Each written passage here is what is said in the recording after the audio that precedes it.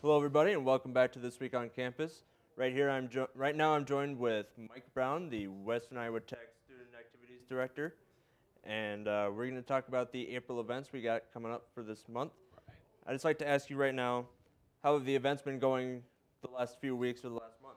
You know what? Um, they've been good, right? You know, um, I wish we would get more participation, but I think that we're in this environment where students are coming up to campus for specific purposes, and that's classes, right? And I'm happy for that, right? I think when things loosen up a little bit more, they'll swing by my booth and, and actually uh, participate with a lot of my activities. But, you know, activity has been pretty, pretty good. I had to be um, aggressive with some people, you know, getting them to participate. But it's been fun because it uh, enhances my communication skills. That's very nice. So, with talking about the previous events, are you going to be looking forward to any events in April? Yes, um, and of course, I, I, brought my handy dandy trusty paper here. Um, we got a lot of activities in April, ending it off. Um, one of the first ones is something that's dear to my heart. It's called the Hookup.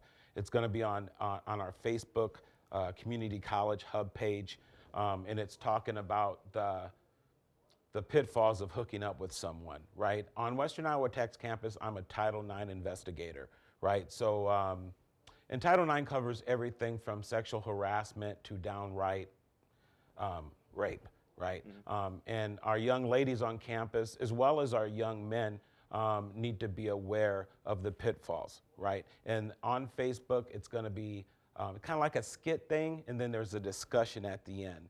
And I really want our students to get on and, and actually look at it. It's coming up on April 14th.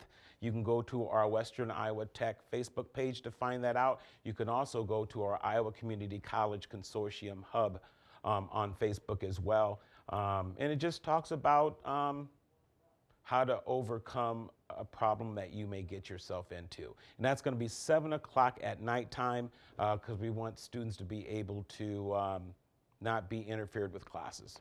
Right. So, um, and then we have something coming up real quick. April 6th is National Caramel Corn Day.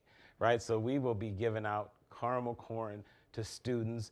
I may put some cheese in there as well, some cheese corn, because can't do the caramel corn without the cheese because it just it's too much, right? Um, so, of course, all of my activities are free. Um, we also, on April 13th, we have National Humorous Day, right? And we will get people to tell jokes to the camera, and we will post that on, on, on Facebook and our Instagram. And whoever gets the most laughs and likes will probably get a prize, right? But clean jokes, right? Clean jokes. Um, and then um, after that, April 22nd, we have our annual Festival of Nations, right? COVID has stopped us from doing it last year, uh, which is one of our humongous events on our campus where we have about 33 different countries represented with their food, um, their dress, their culture, dance. Um, it's just an awesome day, and we are going to bring a smidgen back to the campus on April 22nd. It will be held in the library from 11 o'clock to 1 o'clock. Um, instead of food, we will be handing out recipes from all these different cultures. And also, we may have a few people dressed up in their traditional garb. Um, and then um, you'll just definitely go, walk through the library and see that there is a little bit of inclusion in there. You know, we'll talk about our students. And our students come from all different backgrounds. And our, we need to make sure that wherever you're from, whoever you are, that you're comfortable on the campus of Western Iowa Tech.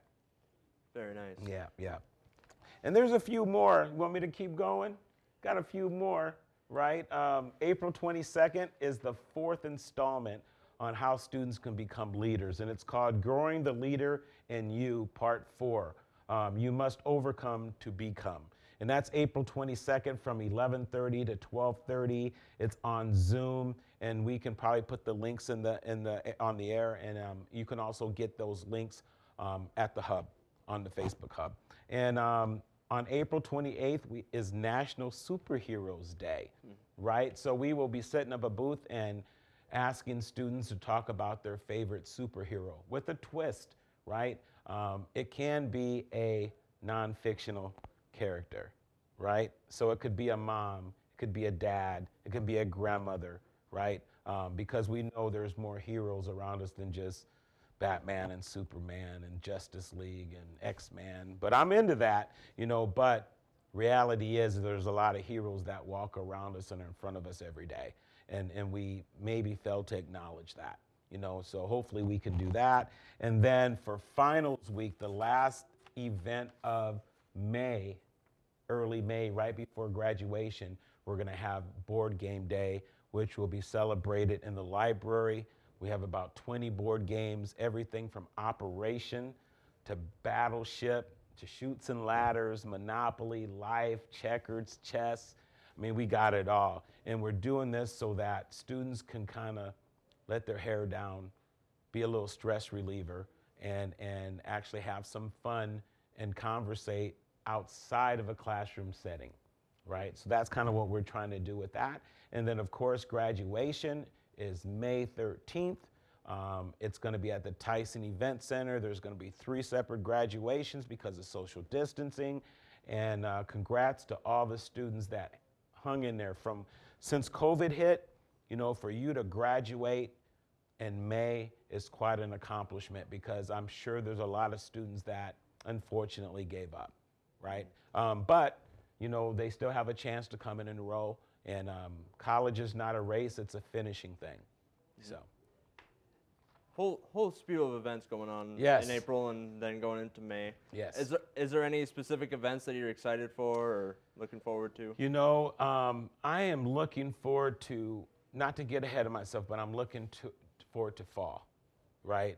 Looking forward to fall. We have not had an on campus event with people gathering for a while now. And I do think that when we open up, we're going to open, right? And, and I think the activities will be off the chain. You know, international travel hopefully will come back. Um, Festival Nations will come back. Um, Glow, which was the former Whitstock, will come back. You know, and I know Chris um, is is chopping at the bits trying to get his uh, students more experience. And I think uh, when Glow comes back, they'll have that have that opportunity. So I'm excited about the fall. Um, summer, it seems like we're going to open a little bit as far as the gym, um, but we're always going to keep social distancing. We're always going to make sure that it's a healthy option, right? So we're not going to listen to the outside telling us to open, right? We're going to dictate that, and we're going to always err on the side of caution. And um, I'm sure there's a few people that may not like that, but at the end of the day, I feel better with my conscience doing it that way. Whole bunch of good events coming forward to the Yeah. future and very meaningful things looking forward to for the future. That's what's up. Is there anything else you'd like to say for the good of the cause today? Man, um, you know, we're almost at finals. You know, students are finding out actually where they sit at as far as grades are concerned. I think the last day to drop classes is May 5th. Correct me if I'm wrong, but I believe it's May 5th. Um, I would rather you drop the class than to take an F, right? Um, there's always a way to retake a course. Um, those of you who are planning on graduating, you have to sign up for graduation. You can't, it doesn't miraculously happen, right? You have some um, work to do to order to graduate as far as signing papers. And then also, if you decide to drop a class because grades aren't doing too hot, um, you're not the first one for that to happen to. It's happened to me before as well. Um, make sure that you sign paperwork because you just you just can't call in and say drop me, right? And a lot of students feel that they can do that, and then they are surprised with an F on their report card, right? So we want to try to alleviate all of that. Make sure that there's a process with everything you do, from dropping classes to adding classes to graduation. There's gonna be some paperwork, and if you're not doing the paperwork, then you didn't do it correctly. All right, thank you so much for coming here today, Mike. It was great to talk to you again. It's an honor, bro. And I absolutely hope everything goes well in the future for opening up the gym and having more students Oh, man. participate. It'll be a huge time. Be a It'll huge time. when everything gets back together. Amen. We'll be right back right after these messages.